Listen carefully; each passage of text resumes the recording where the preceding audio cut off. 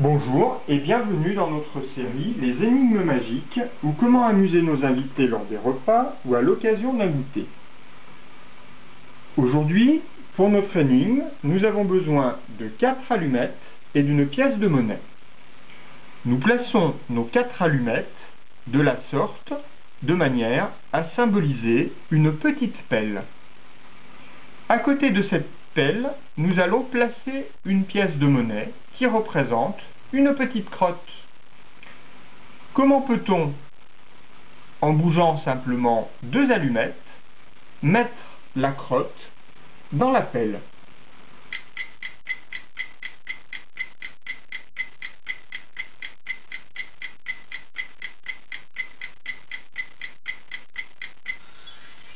Alors, avez-vous trouvé? Eh bien, il nous faut tout simplement déplacer cette allumette ainsi, puis celle-ci de cette manière. Notre petite crotte est alors dans la pelle. Magique, non?